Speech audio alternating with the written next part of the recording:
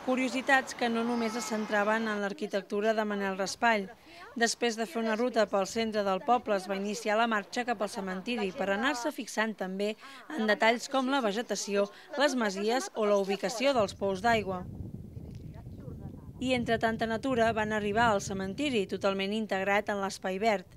Inclús hi ha pins a l'interior del cementiri que ofereixen ombres ben estudiades i espais d'intimitat que coincideixen amb la intenció a l'hora d'idear la distribució. El cementiri original de 1921 va ser ampliat però seguint amb la manera de fer d'en Raspall.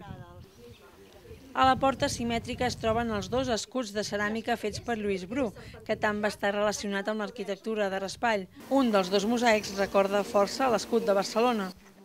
Durant la ruta, les vuit persones de la visita van poder preguntar i comentar qualsevol dubte. Algunes curiositats, però, quedaven sense resoldre.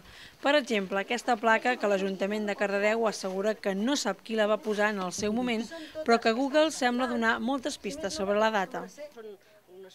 El cementiri desprèn molt respecte i seriositat. Sembla fins i tot un tema tabú, però no deixa de ser un espai a cuidar pel seu valor arquitectònic i artístic, digne de visitar i deixar-se dur per les seves curiositats.